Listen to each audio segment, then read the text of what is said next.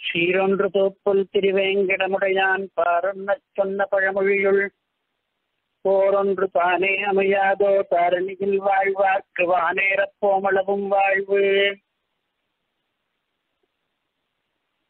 ஆச்சாரி வந்தனம் நௌமி மதுராந்த புராபிஜன சிஷ்டம் வீர ரகுபுங்கவமனேக புதஜுஷ்டம் வேதகணமௌளி குரு சூக்தி ரசஹிருஷ்டம் ரங்கபுரவீதிஷு சதா விஹிருதி துஷ்டம்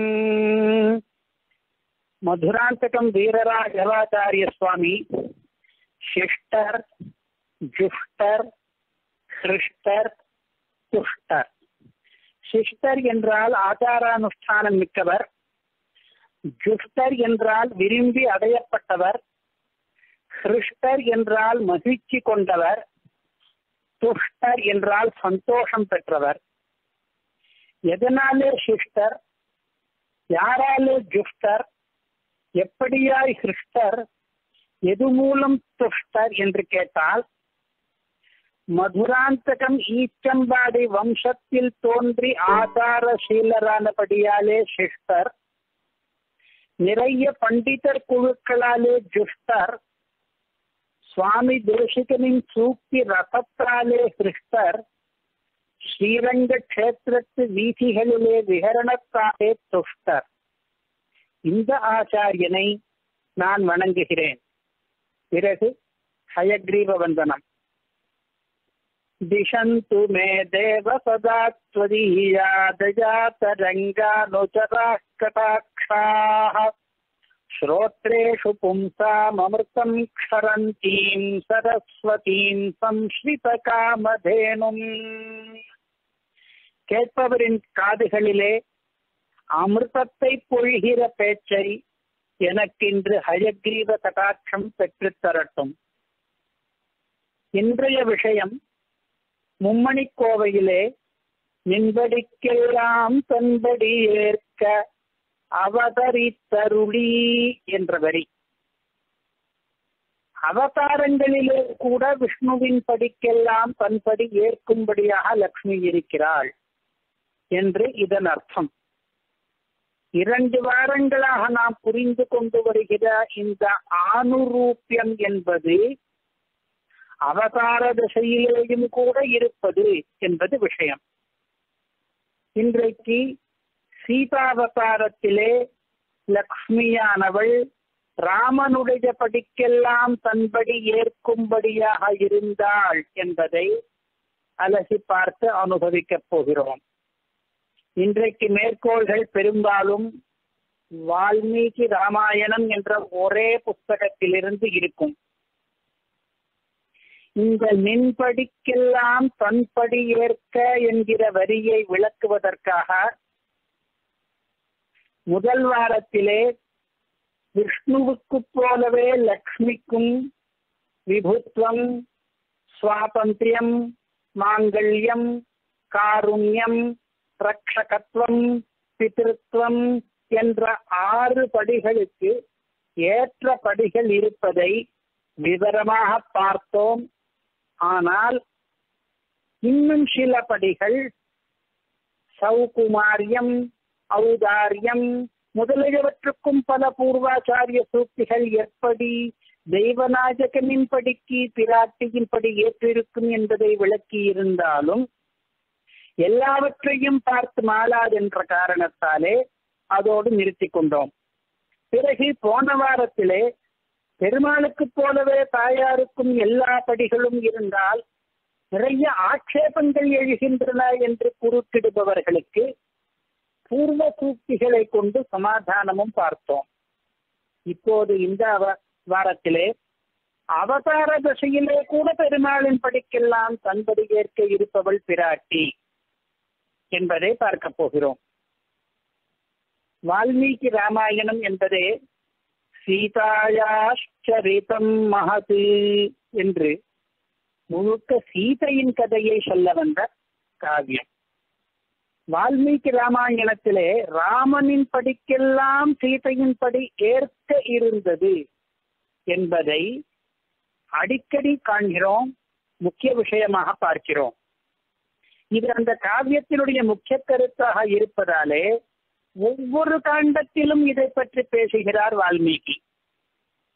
அவற்றை பராமர்சித்தால் திவ்ய தம்பதிகளுடைய அதாவது சீதா ராமர்களுடைய ஆணுரூப்பியம் மிகச் சிறந்தது என்று தெரிகிறது. அது நம்மால் போற்றத்தக்கது என்று தெரிகிறது.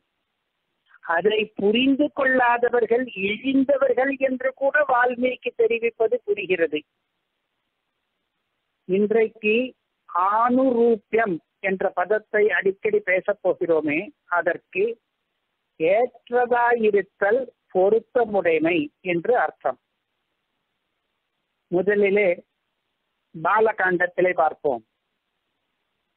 விவாக கட்டத்திலேயே ஆரம்பித்து விடுகிறது சீதைக்கும் ராமனுக்கும் ஆணுரூப்பியம் முதன் முதலாக சீதையை ராமனுக்கு அறிமுகப்படுத்துகிறார் சீதையினுடைய தந்தை ஜனகர்.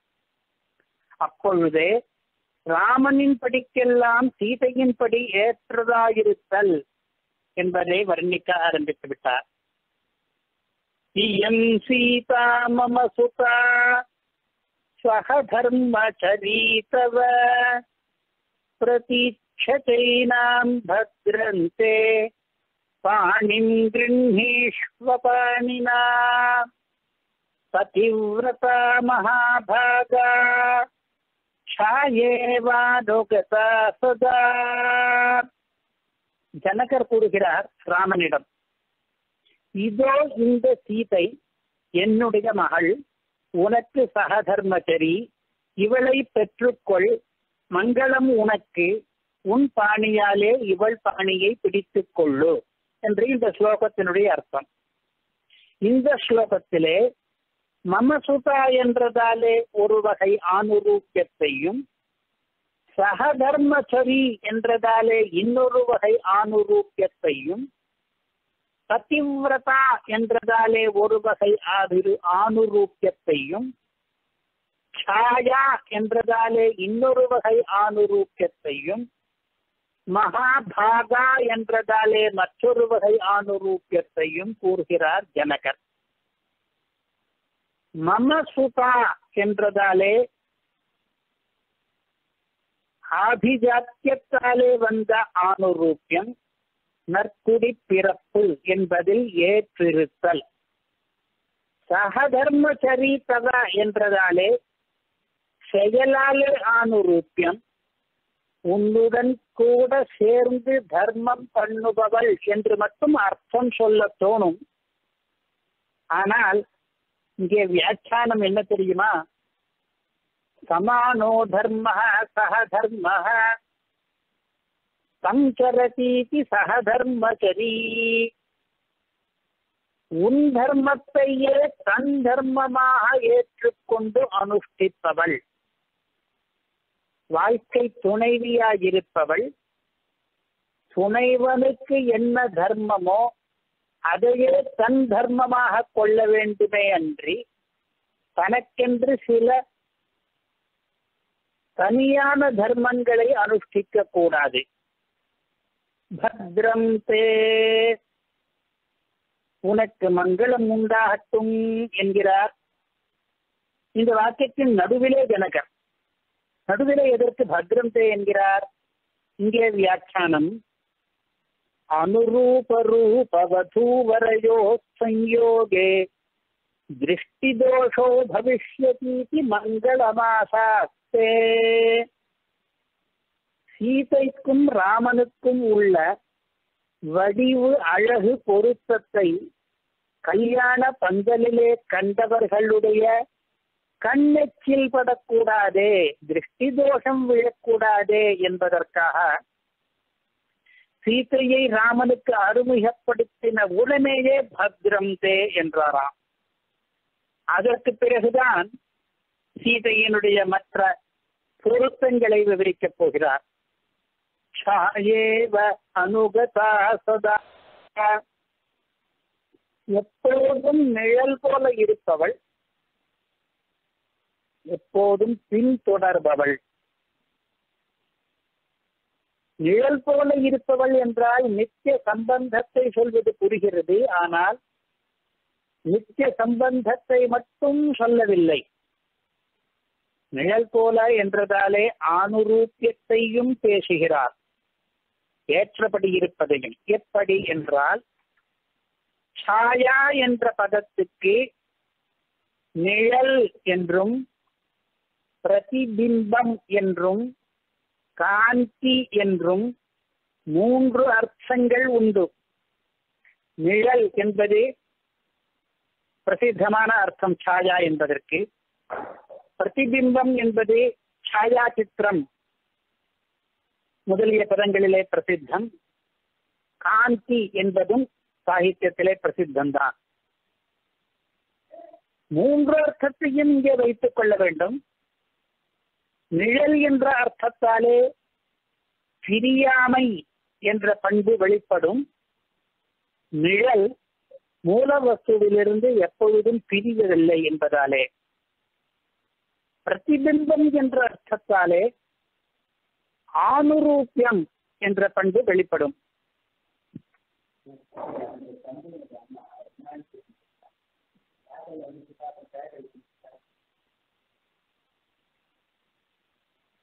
காந்தி என்கிற மூன்றாவது அர்த்தத்தாலே அழகூட்டல் என்ற பண்பு வெளிப்படும். இந்த மூன்றிலே இரண்டாவது நமக்கு இப்பொழுது அதிகமாக தேவை. கண்ணாடியிலே விழுகிற பிரதிபிம்பம் எப்படி மூல வஸ்துவுக்கு எல்லா வகையாலும் ஒத்திருக்கிறதோ அப்படி நாம் கையை அசைத்தால் பிரதிபிம்பமும் கை அசைக்கிறது. நாம் குனிந்து நிமிர்ந்தால் பிரதிபிம்பமும் குனிந்து நிமிர்கிறது. நமக்கும் நம் பிரதிபிம்பத்துக்கும் எல்லா படிகளிலும் ஏற்பு ஆணுரூப்பியம் இருக்கிறது. அதுபோலத்தான் ராமனுக்கும் சீதைக்கும் அத்தியந்தம் ஆணுரூப்பியம் என்கிறார் ஜனகர். சாயேவ என்ற பதத்தாலே. பிறகு பதிவிரதா என்ற பதம்.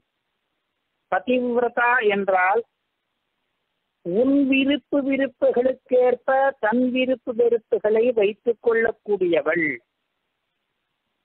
ஆர்த்தார்த்தே முதிதே சிருஷ்டா என்று ஒரு ஸ்லோகம் இருக்கிறது. பதிவிரத்தை எப்படி நடந்து கொள்வாள் என்பதை விளக்குவது. அந்த அளவுக்கு ஏற்புடையவள் என்பதை பதிவிரதா என்ற பதம் தெரிவிக்கிறது. இதே மாதிரி மகாபாகா என்பதாலும் சதா அனுகதா என்பதாலும் ராமனுக்கு சீதை பல வகைகளிலே ஏற்றவள் என்பதை இந்த ஸ்லோகத்தாலே தெரிவிக்கிறார் ஜனகர். இதற்கு பிறகு வால்மீகியினுடைய இன்னொரு ஸ்லோகம் அந்த முதல் காந்தத்தினுடைய கடைசி ஸ்லோகம். அதிலே இரண்டு வஸ்துக்களின் ஆணுரூப்பியம் என்றால் அவை சேர்ந்திருக்கும் போது பரஸ்பரம் அழகூட்டும் தன்மை என்பதை விளக்குகிறார். தயா ஸ்வராஜர்ஷி சுதோபிராமயா சமே இவானுத்தமராஜகன்யயா अतीव रामः शुशुभेति कामया विभुश्रिया विष्णुरिवामरेश्वरः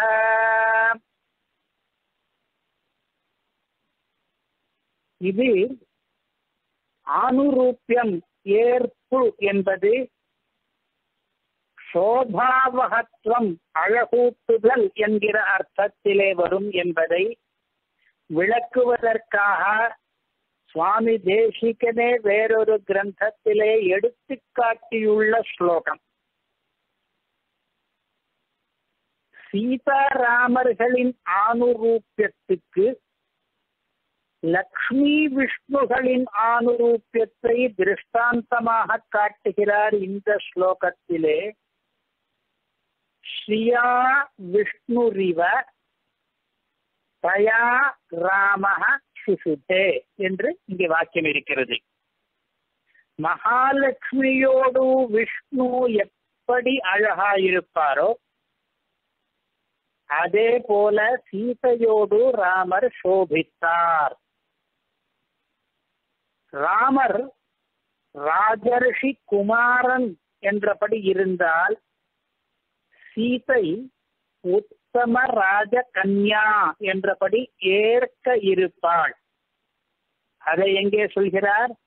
தயா ச ராஜர்ஷி சுதோபிராமயா சமே ஜீவா உத்தம ராஜ கன்யா என்று குலத்தினாலே ஆதிஜாத்தியத்தினாலே வந்த ஆணுரூபியம்.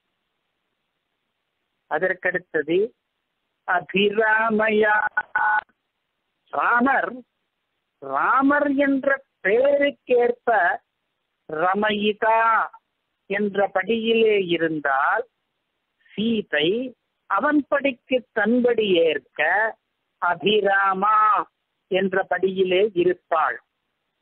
அவன் ராமன் அவள் அபிராமா இந்த மாதிரி ஏற்றிருப்பாள்.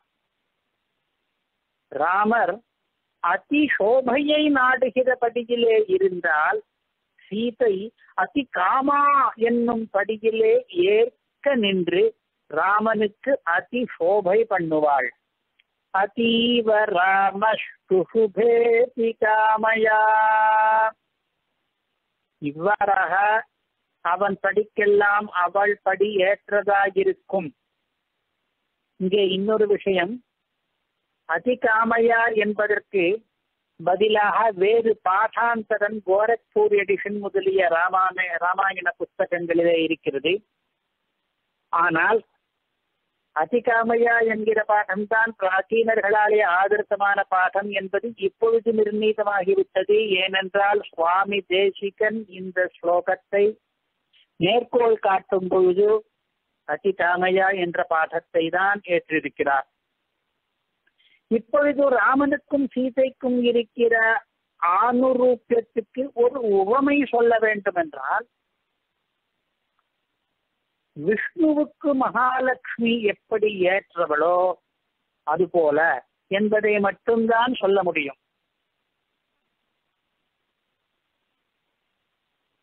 பிற்பாடு யுத்த காண்டத்திலே சீதா லக்ஷ்மீர் பவான் விஷ்ணு என்று கூறியபடி பார்த்தால் திருஷ்டாந்தமும் தாஷ்டாந்திகமும் ஒன்றே ஆகிவிட்ட நிலை.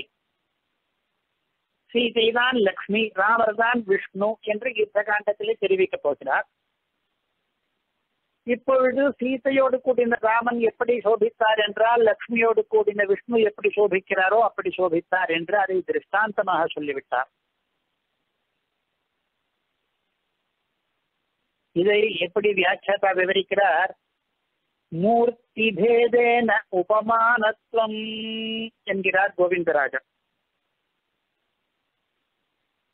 திருஷ்டாந்தமும் தாஷ்டாந்திகமும் ஒன்றா போனாலும் இதை உபமானம் என்று ஏன் சொல்லலாம் என்றால் அது வேறு மூர்த்தி இதே வெற்றிகளுக்கு இது வேறு மூர்த்தி.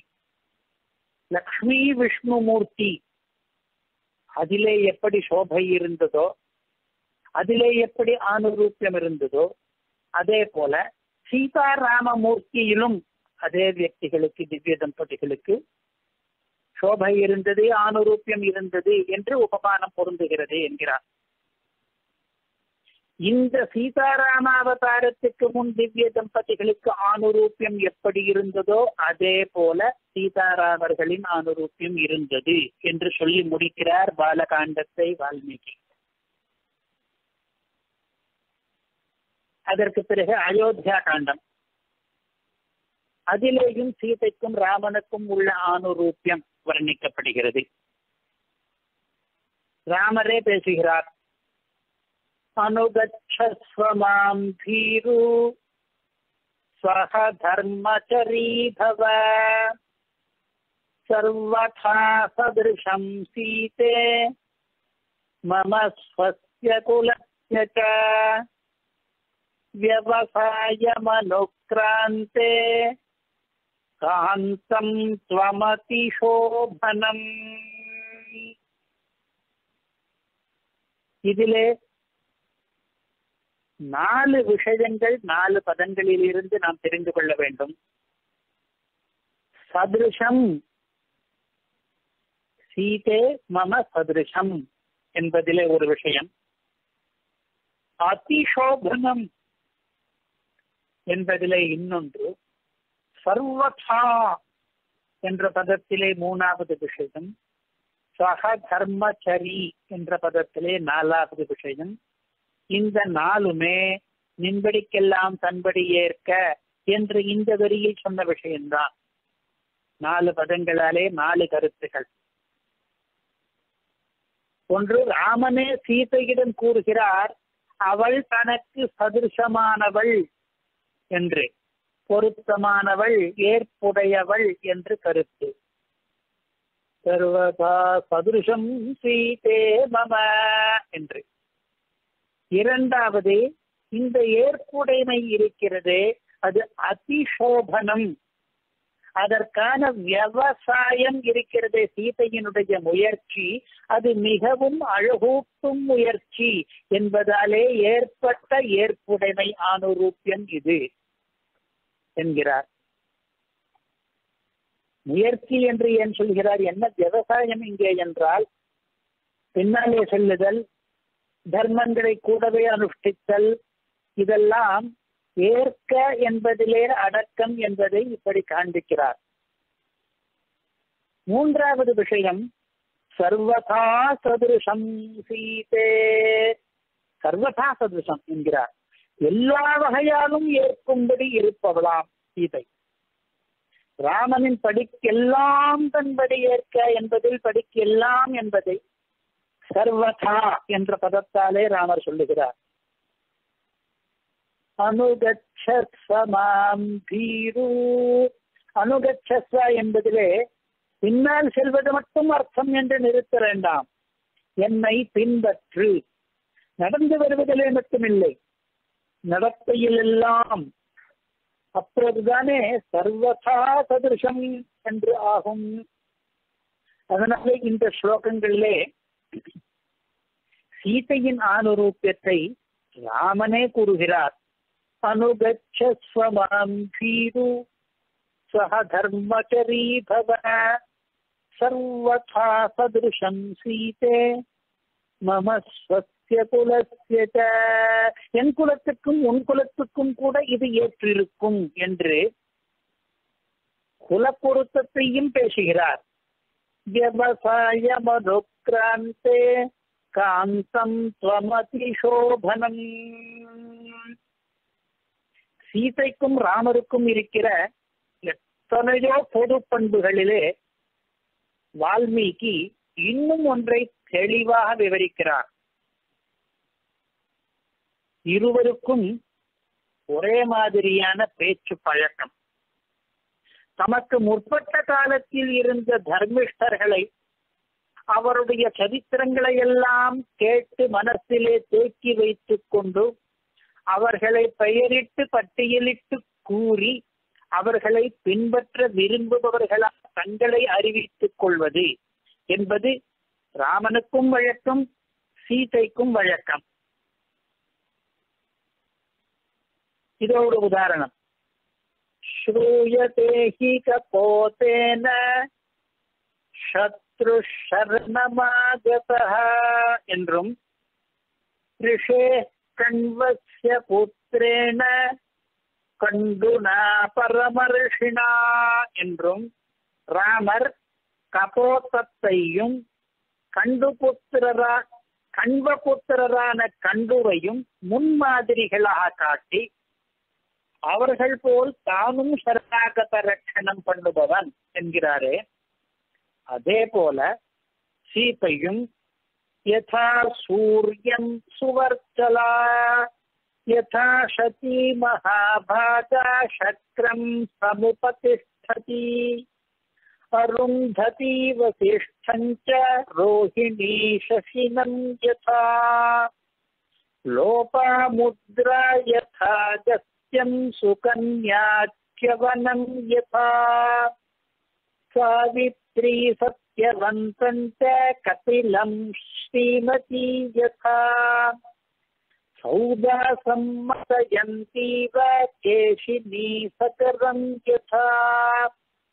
नैषधं दमयन्तीव धैमी पतिमनुव्रता तथाहमिक् பதிமனுவிரதா ததாஹமிக்ஷ்வாது வரம் ராமம் பதிமனுவிரதா என்று ஒரே வாக்கியத்திலேயே சுவர்ச்சலா ஷகி அருந்ததி ரோஹிணி லோகாமுத்ரா சுகன்யா சாவித்ரி ஸ்ரீமதி மதயந்தி கேஷினி தமயந்தி என்று பத்துக்கும் மேற்பட்ட ஏராளமான முன்னோடி பதிவிரதைகளின் கதைகளை எல்லாம்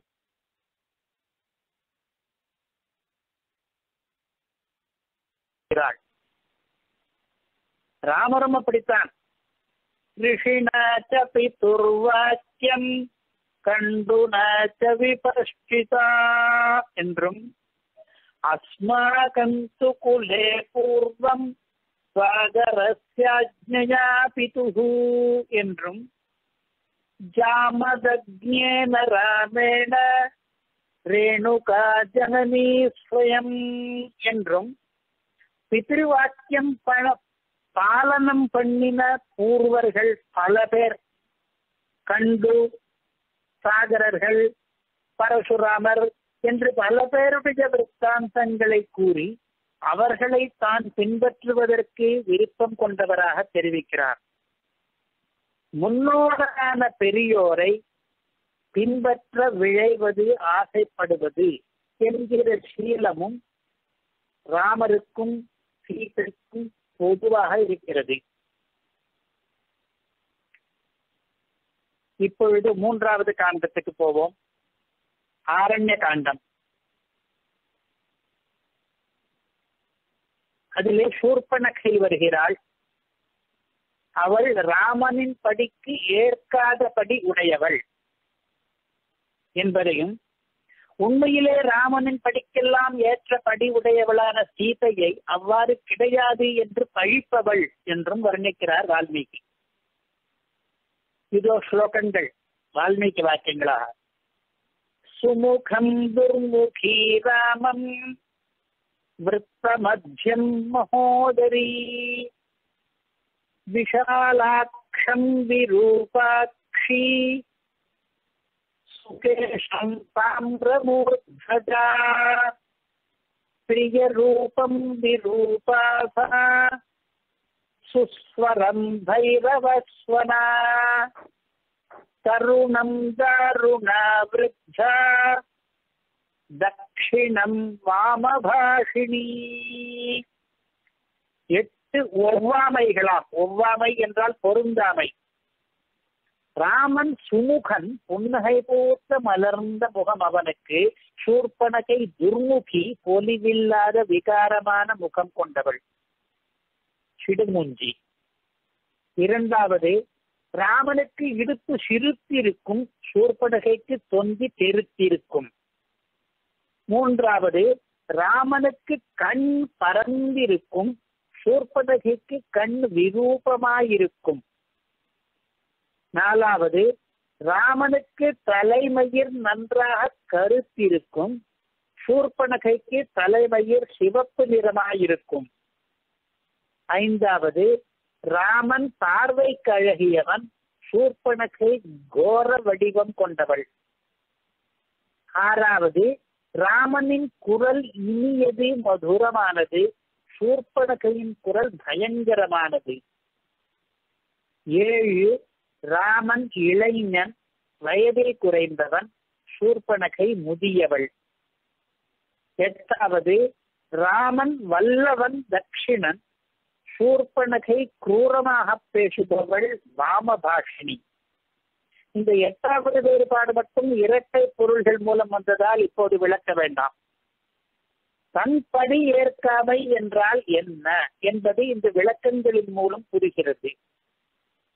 இதற்கு நேர் எதிர்மாதிரியான பொருத்தம் சீதாராமர்களுக்கு. சீதையோ ராமனின் படிக்கெல்லாம் தன் படி ஏற்க இருப்பவள். முகப்பொலிவு இடை மெலிவு கண் பரப்பு கூந்தல் கருமை வடிவழகு இளமை வல்லமை என்ற எட்டிலுமே ராமனுக்கு ஏற்றவள் சீதை என்பதை இவ்விடத்தில் நமக்கு நினைவூற்றுகிறார் வால்மீகி. இவற்றுக்கு எதிரிடையாக சூர்பனகையை வர்ணிக்கிறாரே வால்மீகி அவருடைய கருத்து சீதை இதற்கு நேர் எதிர்மாதிரியானவள் என்பது.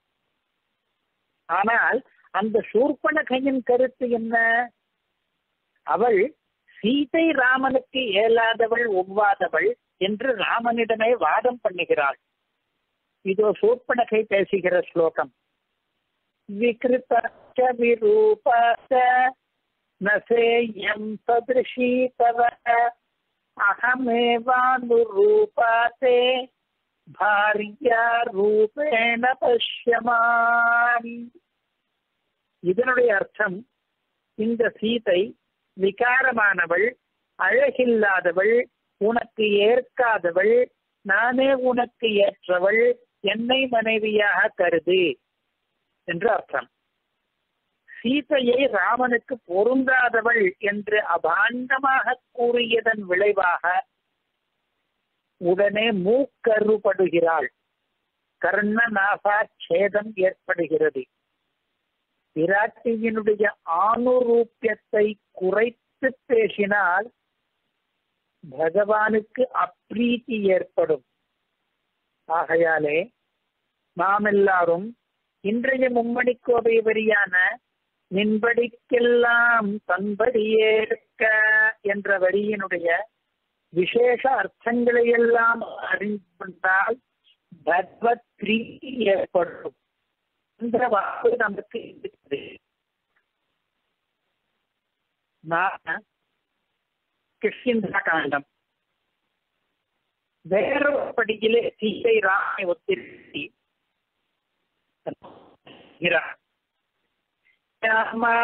ஒத்திருத்தி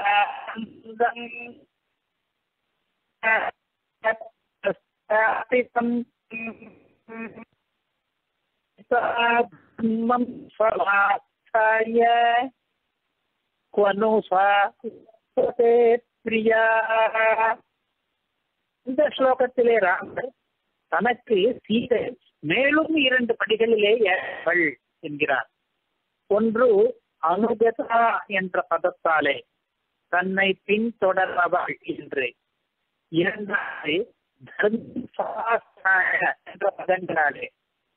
கடினமா இருந்தாலும் அறவழி ஒரு உடல் என்பது ராமனுடைய நெறியானபடியாலே ராமன் காட்டுக்கு வந்தது போலவே கடினமாயினும் அறவழி ஒழுகுதல் என்ற அதே நெறி சீதைக்கு இருந்ததால் அவளும் ராமனை பின்தொடர்ந்தாள்.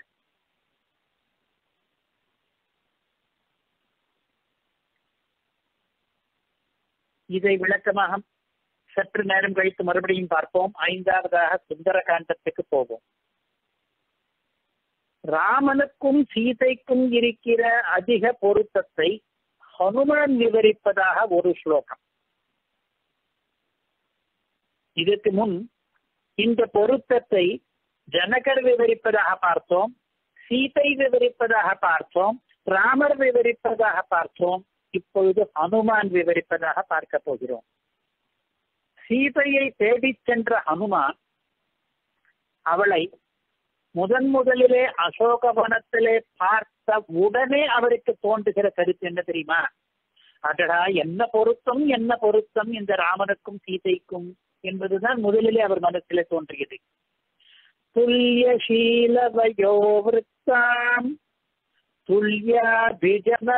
துல்யசீலவயோவிருத்தாம் துல்யாபிஜனலக்ஷணாம் ராகவோர்ஹதி வைதேகீம் சஞ்சேயமசி தேக்ஷணா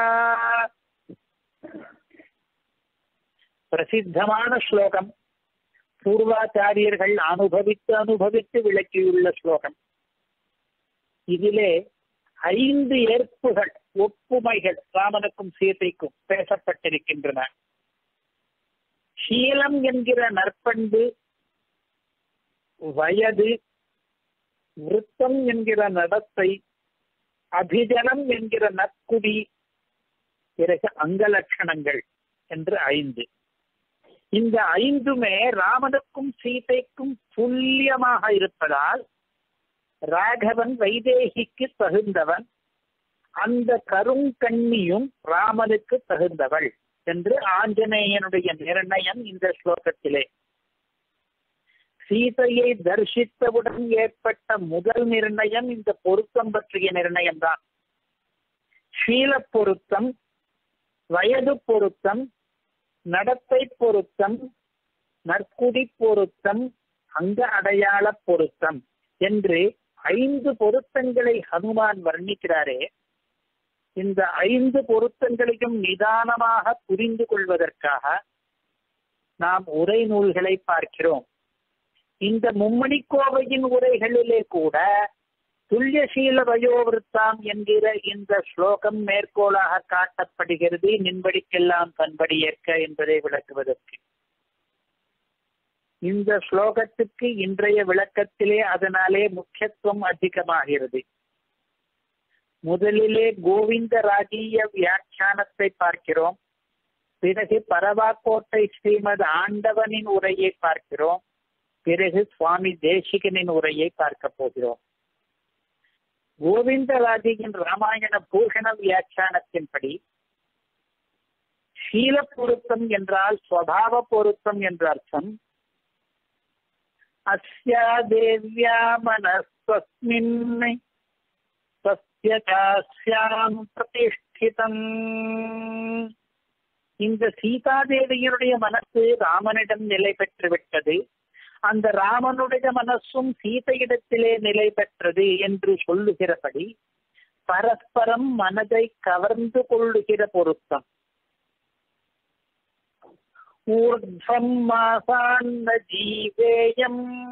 ஒரு மாசத்துக்கு மேல் என்னால் உயிர் வாழ முடியாது என்றால் சீதை க்ஷணம் वीरन தேவேயம் வினாதாமசித்தே க்ஷணாம் அந்த கருங்கண்ணியை பிரிந்து ஒரு கணம் கூட உயிர் வாழ்வது எனக்கு கஷ்டமாக இருக்கிறதே என்றான் ராமன். அவ்வளவு சீல பொருத்தம் இருவருக்கும் இரண்டாவதாக வயது பொருத்தம் துல்லியமான வயசு என்பதற்கு மேலெழுந்த வாரியாக அர்த்தம் சொல்கிறவர்கள் ராமருக்கு எத்தனை வயசோ சீதைக்கும் அத்தனை வயசு. என்று சொல்லக்கூடும். உண்மை அதுவன்று. சீதை ராமனை விட வயசிலே சின்னவள். அப்படியானால் துல்லிய வயசு என்று ஹனுமார் சொல்வானே என்றால் துல்லிய என்பதற்கு இங்கே எண்ணிக்கையிலே சமமான என்று அர்த்தம் கிடையாது. ஏற்ற வயது என்றுதான் அர்த்தம். ராமனுடைய வயசுக்கு ஏற்றபடியாக சீதையின் வயசு இருந்துதான். கணவன் மனைவியர்க்கிடையே எவ்வளவு வயசு வித்தியாசம் இருந்தால் ஏற்புடையதா இருக்குமோ அதற்கேற்ற குறைந்த வயசு சீதைக்கு. இது வயது பொருத்தம். அடுத்தது செயல் பொருத்தம். ராமர் எந்த மாதிரி செயல் பண்ணுவாரோ அப்படித்தான் சீதையும் செயல் புரிவாள். உதாரணமாக ராமர் சரணாகதர்களை ஏற்றுக்கொள்வார். சீதையும் அப்படி. தோஷோ யத்யபி தஸ்ய ஸ்யாத்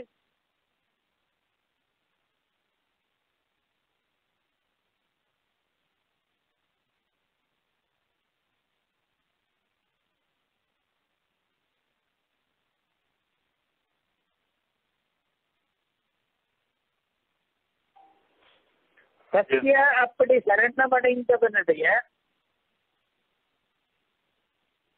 தோஷ குற்றங்கள். எத்யபி சாதி நிறைய இருந்த போதிலும் ராமன் அந்த குற்றவாளியை கூட சரணமடைந்தவனாயிருந்தால் தன் கட்சியிலே சேர்த்துக் கொண்டு விடுவான். இது விபீஷண சரணாகதி பிரகரணத்திலே நன்றாக தெரிகிறது. சீத்தையும் அதே போலதான் குற்றவாளிகள் தன்னை சரணமடைந்தால் பவேயம் சரணம் ஹீவஹா என்று சொல்லி சேர்த்துக் கொண்டு விடுவாள். பாபானாம் வா சுபானாம் வா வதார்ஹாணாம் பிளவங்கம காரியம் கருணமாரியேன ந கஷ்டின்னாபராத்யதி சீதை ஸ்லோகம் நல்லவர்களா இருந்தாலும் சரி கெட்டவர்களா இருந்தாலும் சரி கொலைக்கு உரியவர்களா இருந்தாலும் கூட அவர்கள் இரக்கத்துக்கு உரியவர்கள்.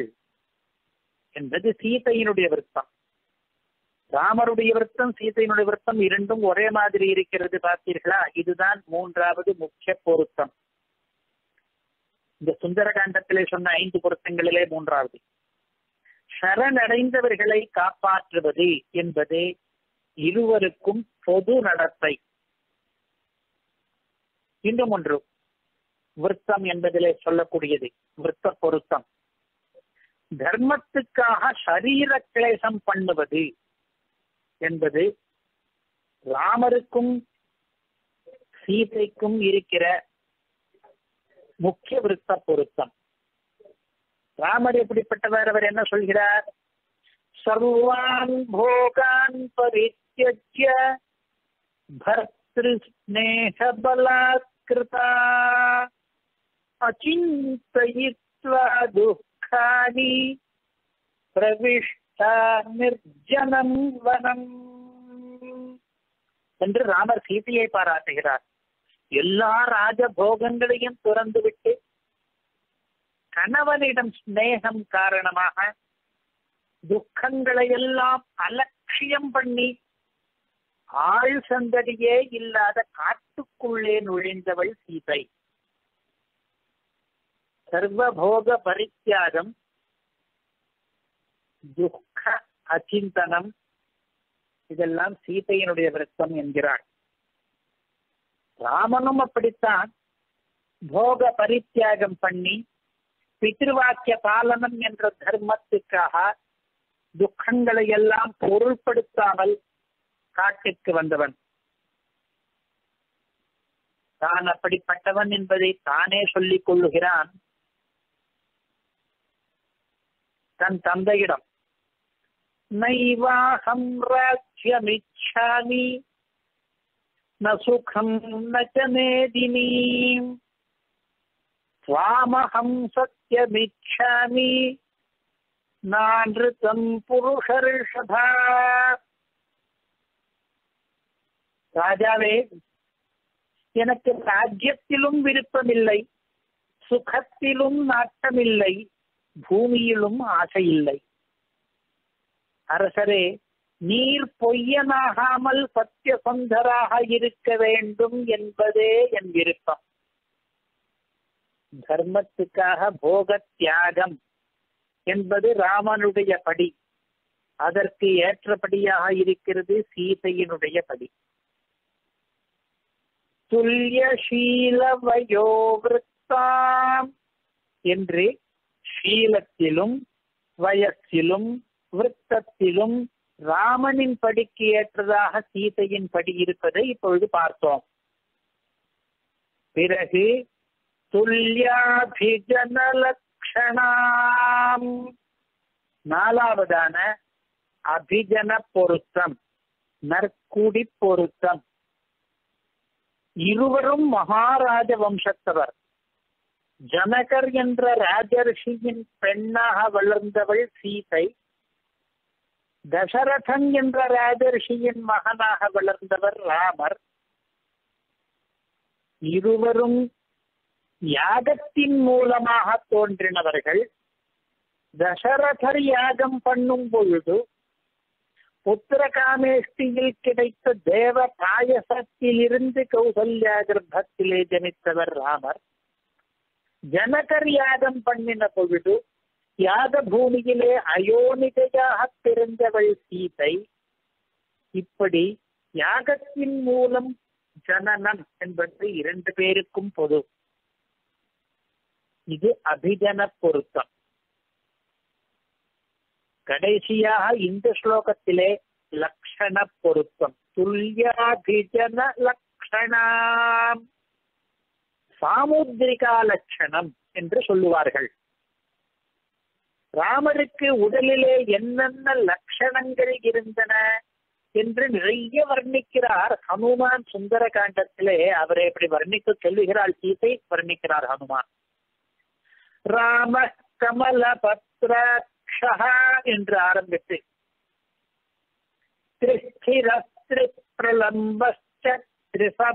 திரிசுச்சோன்னத என்றெல்லாம் நிறைய லட்சணங்களை பேசுகிறார். மூன்று இடங்களிலே உறுதி கொண்டவர் மூன்று இடங்களிலே நீளமாக தொங்கல் கொண்டவர் மூன்று இடங்களிலே சரிசமமாக இருப்பவர் என்று மூன்று இடங்களிலே மேல் தூக்கி நிற்பது கொண்டவர் என்று இந்த சரீர லட்சணங்களின் வர்ணனை மறைந்த பொருளோடு பேசப்படுகிறது. கலை சொற்கள் அதிகமாக இருக்கின்றன. சாமுத்ரிகா சாஸ்திரம் லட்சண சாஸ்திரம் ஒன்று இருக்கிறது. அதை வாசித்த பிறகு இதற்கு உரை எழுதுகிறார்கள் வியாக்கியாதாக்கள் ஒரு மகாபுருஷனுடைய சரீரத்திலே என்னென்ன லட்சணங்கள் இருக்க வேண்டுமோ அப்படிப்பட்ட ராஜ லட்சணங்கள் கொண்ட ராமனுக்கு மனைவியாக வேண்டுமானால் அதற்கு எந்தெந்த லட்சணங்கள் இருக்க வேண்டுமோ அவையெல்லாம் அமையப் பெற்றவள் சீதை என்பது கருத்தி துல்யாபீஜன பீஜன என்பதற்கு. இங்கேயும் துல்யா என்பதற்கு சமமான என்று அர்த்தம் சொல்லக்கூடாது அதே லட்சணங்கள் கொண்டவள் என்று அர்த்தம் சொல்லக்கூடாது. புருஷ லட்சணமும் ஸ்திரீ லட்சணமும் வெவ்வேறாகத்தான் இருக்கும். சீதையை கூட இதற்கு அடுத்த காண்டத்திலே தன்னுடைய சரீர லட்சணங்களை பற்றி பேசப் போகிறாள். இமானி கலு பத்மி பாதையோர்வை குலஸ்திரிஜக என்றும் கேசூக்ஷ்மசமானீலாக भुवौ च संहते मम वृत्ते चारो मये जङ्घे दन्ताश्चाविरला मम शङ्खे नेत्रे करौ पादौ गुल्फावूरु समौ चितौ अनुवृत्तनखा स्निग्धाः சமாச்சாங்குளையோ மம என்று நீண்டு கொண்டே போகிறது இந்த லட்சணங்களுடைய பட்டியல் இந்த ஐந்து வரிகளுக்கு அர்த்தம் இரண்டு கால்களிலும் பத்மரேகை இருக்கிறது சீதைக்கு. ராணியாவதற்கான அறிகுறி அது தாமரை பூ போல கோடு இருக்கிறது. சீதையினுடைய கூந்தல் மயிர்களுக்கு மூன்று பண்புகள் மெல்லியவை கருத்தவை சமமானவை என்று. சூக்மாக சமாக நீலாக என்று. சீதையினுடைய இரண்டு புருவங்களும் ஒன்று கூடாமல் பிரிந்து இருக்கின்றன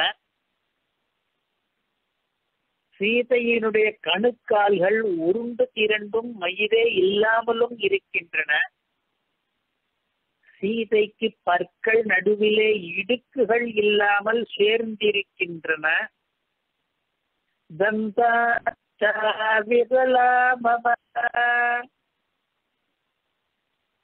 அது தவிர இரண்டு நெற்றி பொட்டுகள் சங்கம் என்ற லலாத பிரதேசங்கள் இரண்டு கண்கள் இரண்டு கைகள் இரண்டு கால்கள் இரண்டு குதிகால்கள் இரண்டு தொடைகள் என்று இந்த ஆறு இரட்டைகளுமே ஒன்றுக்கொன்று சம பரிமாணமாக நல்ல ஜோடியாக இருக்கின்றன. பிறகு சீத்தை சொல்கிறாள் அணுவிருத்தனகாஸ்மிகாக சமாச்சாங்குளையோ மம என்னுடைய விரல்களுக்கு மூன்று பண்புகள்.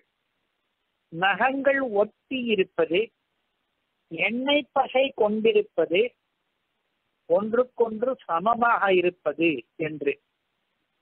இங்கே சமம் என்றால் கட்டை விரலும் சுண்டு விரலும் சம நீளம் கொண்டவை என்று அர்த்தம் கிடையாது.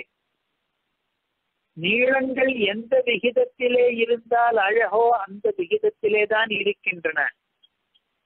சமாக என்பதற்கு கரடு முரடாக இல்லாமல் அனாவசியமான மேடு பள்ளங்கள் இல்லாமல் சமப்பரப்பாக இருக்கின்றன என்று அர்த்தம். என்று இந்த வர்ணனையை தொடர்ந்து சீதையே சொல்லிக் கொள்கிறாள் தனக்கு ஸ்தனங்கள் எப்படி நாதி எப்படி உடலினுடைய நிறம் எப்படி என்று தன் மங்கள லட்சணங்களை அடுக்கிக் கொண்டே போகிறாள் சீதை.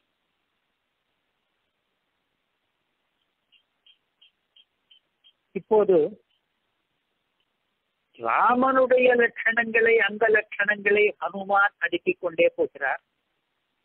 சீதையினுடைய மங்கள லட்சணங்களை சீதையே வேறொரு இடத்தில் அடுக்குகிறார் இவ்விரண்டுக்கும் இருக்கிற பொருத்தங்களை தான் பார்த்து ரசித்துக் கொண்டிருக்கிறோம்? நாம் இந்த துல்யசீல வயோவிருத்தாம் என்கிற ஸ்லோகத்திலே கூறின ஐந்து பொருத்தங்களை எளிய தமிழிலே பேசி நன்றாக புரிந்து கொள்வதற்காக ஸ்ரீ பரமஹம்ச பரிவிராஜகாச்சாரிய பரவாக்கோட்டை ஸ்ரீமர் ஆண்டவன் அருளிய கிராமபிரானை கற்போம் என்ற புஸ்தகத்திலிருந்து பொருத்தம் பார்த்தல் என்ற தலைப்பில் உள்ள வரிகளிலே சிலவற்றை மட்டும் வாசிக்கிறேன். இப்பொழுது மேற்கோள். இப்பொழுது அனுமனின் மனத்தில் ராமனும் சீதையும் இடம்பெற்றிருக்கிறார்கள். இவர்களுடைய பொருத்தத்தை பார்த்து மகிழ்கிறான். இவள் ராமனையே நினைத்து அழுது கொண்டிருக்கிறாள். ராமனும் இவளையே நினைத்து புலம்பிக் கொண்டிருக்கிறான் ராமன் சரணாகதர்களை கைவிடாதவன். அதே போல சீதையும். எனவே ராமனுக்கும் சீதைக்கும் உள்ள செயல்பாடு ஒரே மாதிரியானது. நற்குடி பிறப்பும் ஏற்றமுடையது. ராமன் சூரிய வம்சம். இவளோ சந்திர வம்சம்.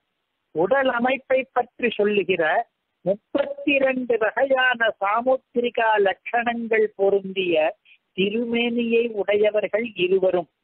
எல்லா வகையான பொருத்தங்களையும் உடையவர்களானபடியால் சீதைக்கு ராமனே உரியவன் பொருத்தமானவன். ஆயினும் சீதையின் கண் அழகு ராமனுக்கு வராது என்றான் ஹனுமான் என்கிற பிரம்மச்சாரி. மேற்கோள் முடிகிறது இப்பொழுது இப்பொழுது இதே துல்லியசீல வயோவர்த்தம் என்பதற்கு வியாக்கியானமாக தேசிக சூக்தியை வாசித்து பார்ப்போம் அத்திர வயோ லட்சணையோ துல்லிய சப்த ஔச்சித்யபரः दम्पत्योर्न्यूनाधिकवयस्कत्वात्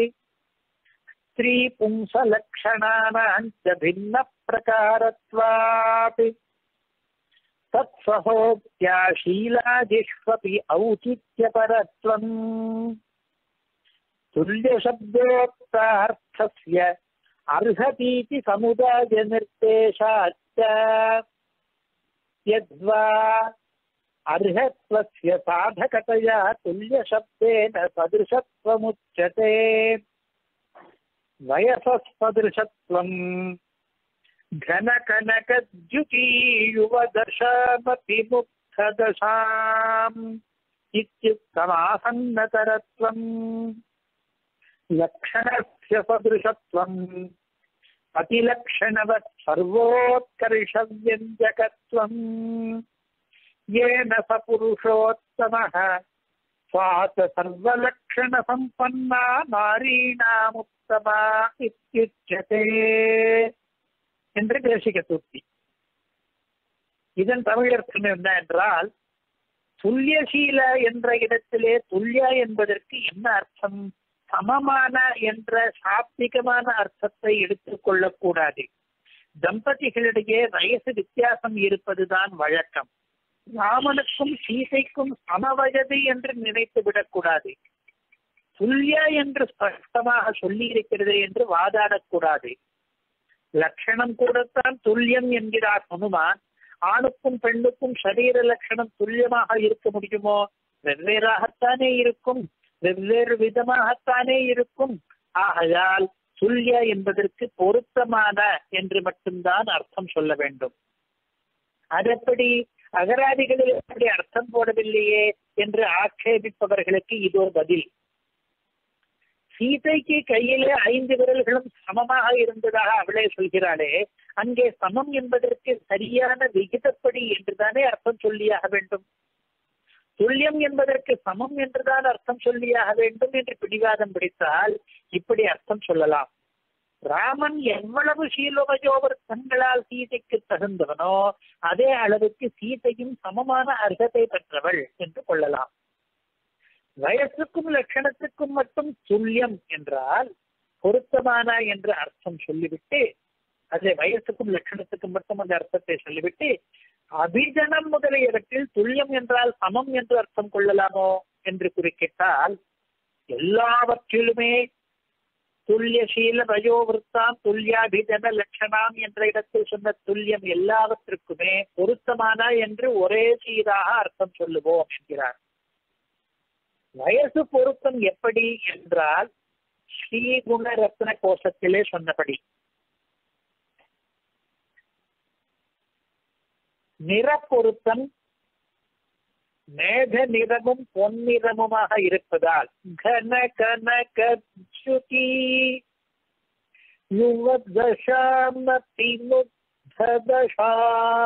என்று பட்டர் ஸ்லோகத்தை மேற்கோள் காண்பிக்கிறார். வயசு பொருத்தம் அவன் யுவாவாகவும் இது முக்தையாகவும் இருப்பதால். முக்தை என்றால் அவளுக்கு இளமை அரும்புகிற பருவம். யுவத்துவம் என்றால் இளமை நிறைந்த பருவம். அது பகவானுக்கு. லக்ஷண பொருத்தம் பற்றி ஸ்ரீகுணரத்ன கோஷத்தில் சொல்லவில்லையே.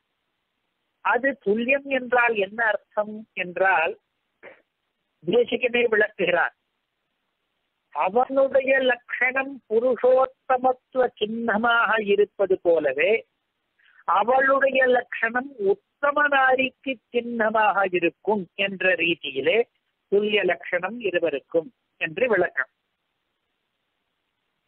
இதனால்தான் மும்மணி கோவையிலே ஏற்க என்று பதமிடுகிறாரே தவிர துல்லியமாக சமமாக என்று பதமிடவில்லை நின்படிக்கெல்லாம் தன்படி ஏற்க பொருந்தும்படி அவள் இருக்கிறாள். அதேபடியுடன் இருக்கிறாள் என்னவில்லை. சமமான என்று ராமாயணத்தில் சொன்னதற்கு கூட இப்படி பொருத்தமான என்ற உபச்சார வழக்காக அர்த்தம் சொல்ல வேண்டிய நிர்பந்தம் இருக்கிறது. உபச்சார வழக்கு எதிர்த்து ஸ்பஷ்டமாக எல்லாமே அதைத்தான் பண்ணியிருக்கிறார். சில படிகள் விபுத்துவம் முதலிய படிகள் சமமாகவே இருக்கும். இன்னும் சில படிகள் சுவாதந்திரியம் முதலிய படிகள் ஏற்க இருக்கும் என்று நாம் வாசியை புரிந்து கொள்ள வேண்டும்.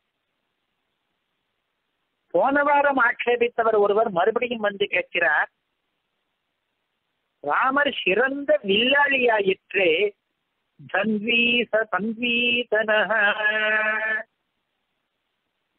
திரம்பதி திரம்பக சமதிக கோராஸ்திராடம்பரராயிற்றவர் அவருடைய பராக்கிரமத்துக்கு ஏற்ப சீதையின் படி இல்லையே இருக்க முடியாதே என்று. இந்த ஆட்சேபத்துக்கு சமாதானம் என்னவென்றால் ராமனின் வில்வித்தை திறமைக்கு ஏற்க சீதையின் படி இருந்தது. அது மூன்று விதமாக இருந்தது.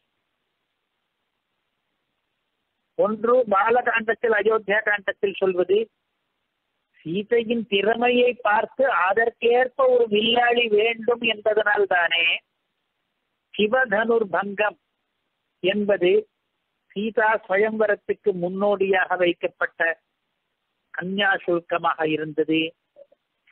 ராமருடைய வில்லை பூஜிப்பது தயார் பண்ணுவது சித்த நிலையில் வைப்பது இதெல்லாம் சீதை பண்ணுவது வழக்கமாதலால் வில்லாளிக்கு ஏற்ற படி அவளுக்கு இருக்கிறது. இதற்கு மேல் ஒன்று உண்டு. இரண்டாவது ராமனுடைய பராக்கிரமத்துக்கு பரிசு கொடுக்கக்கூடியவளும் புண்ணாற்றும் மருந்தாக இருப்பவளும் சீதை என்பது ஆரண்ய காண்டத்திலே. மூன்றாவதாக ராமனைப் போலவே சொந்த வலிமையால் ராவணனை சாம்பலாக்க வல்லவள்தான் சீதை. ஆனாலும் ராமனுக்கு அடங்கி இருக்க வேண்டும் என்ற தன் சங்கல்பத்தாலே தானே அவ்வாறு பண்ணாமல் ராமனுக்கு வாய்ப்பு கொடுப்பதாக அவளே சொல்கிறாள் சுந்தரகாண்டத்திலே கணவன் என்ன தொழில் புரிகிறானோ அதற்கு துணையாக செயல்படுபவள் என்ற கருத்து துல்லிய விருத்தா என்பதற்கு. ராமன் வில்லாளியானதாலே சீதை அதற்கு துணை புரிவாள்.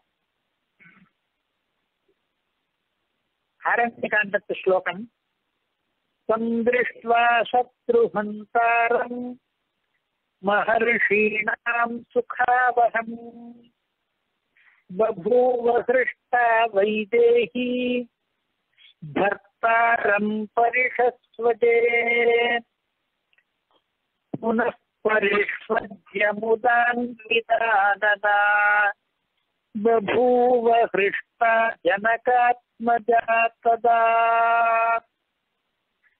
பகைவர்களை கொன்று மகர்ஷிகளுக்கு சுகத்தை தருகிற ராமனை பார்த்து சீதை மகிழ்ச்சி அடைந்து இருக்க கட்டி கொண்டாள் தன் கணவனை மறுபடியும் ஆலிங்கனம் பண்ணிக்கொண்டு உபகை அடைந்தவளாய் ஜனககுமாரி அப்போது விளங்கினாள் என்று இதற்கு அர்த்தம் சுந்தரகாண்டத்திலே அசந்தேஷாத்து ராமஸ்ய तपसश्चानुपालनात् नत्वा कुर्मिदशग्रीव பஸ்ம பஸ்மார்ஹதே ஜசா சீதை சொல்கிறாள் பத்து தலையனே உன்னை பொசுக்கி சாம்பலாக்கி விட முடியும் என்னால் அதற்கு இன்னும் ராமனின் அனுமதி கிடைக்காததாலும் என்னுடைய தபஸை வீணாக்காமல் நான் பாதுகாக்க வேண்டி இருப்பதாலும் நீ பிழைத்திருக்கிறாய். என்று சீதையினுடைய வாக்கியம் ராவணனிடத்திலே சுந்தர காண்டத்திலே ஷரைஸ்து சங்குலாம் கிருத்வா லங்காம் பரபலார்தனः மாம் நயேத்யதிகா குஷ்டः தஸ்ய சதுருஷம் பவேத் சீதை சொல்கிறாள். ராமன் தன்னுடைய வில் வலிமையாலே இலங்கை பாழாளாக படைபொருது வென்று என்னை மீட்டு சென்றால் அது அவனுடைய வீரத்துக்கு பொருந்தும். அதனாலே வேற்று உபாயங்கள் தப்பிப் போவதற்கு வேண்டியதில்லை. இப்படியெல்லாம் சீதை பேசுவதிலிருந்து நமக்கு என்ன தெரிகிறது? ராமனை போன்ற ஒரு பெரிய வில்லாளிக்கு ஏற்கும்படியாக சீதை தன் படியை வைத்துக் கொண்டிருந்தாள் என்று தெரிகிறது. கடைசியாக யுத்த காண்டத்திலே சீதா லக்ஷ்மீர் பவான் விஷ்ணு என்று தேவதைகள் ராமனுக்கு தெரிவிக்கிறார்கள். சீதை லக்ஷ்மி தேவியே தான் நீர் விஷ்ணுவேதான் என்று. அப்பொழுது ராமர் அனன்யாகிமயா சீதா பாஸ்கரேண பிரபாயதா என்கிறார். சூரியனுக்கும் சூரிய கதிருக்கும் எவ்வளவு ஏற்போ அவ்வளவுக்கு ராமனின் படிகளை ஒத்த படிகளை ஏற்றவள் சீதை. சூரிய கிரணம் சூரியன். இது ரெண்டும் போல சீதை ராமன். இப்பொழுது ஒரு ஆட்சேபம். எல்லா படிகளும் இவ்விருவருக்கும் ஒன்றே ஆகிவிட்டால் இருவரும் ஒருவராகிவிட மாட்டாரோ? என்றால் அதையும் தான் சொல்கிறார் ராமர். சனன்யா என்கிறார். ஒரு விதத்திலே நாங்கள் ஒன்றே ஆனவர்கள் தான் அவ்வளவு பொருத்தம்.